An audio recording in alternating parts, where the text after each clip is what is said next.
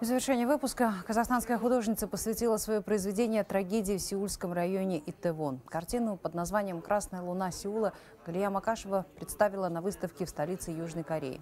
Ее Галия нарисовала в ночь на 29 октября, когда произошла давка. В это время художница находилась в Сеуле. Страшные новости произвели сильное впечатление на девушку. Галия Макашева привезла с собой и другие работы. Они посвящены природе Казахстана. Свои картины в Сеуле представили также художницы Виктория и Светлана Цой. Выставку «Сила в единстве» приурочили ко Дню независимости нашей республики. С помощью искусства мы объединяем Казахстан и Корею. Спасибо художницам за визит в Сеул. Мне кажется, что казахстанские художники очень профессионально изображают природу. Мы, конечно, каждый из нас несет свой генетический код национальный. Это, это естественно.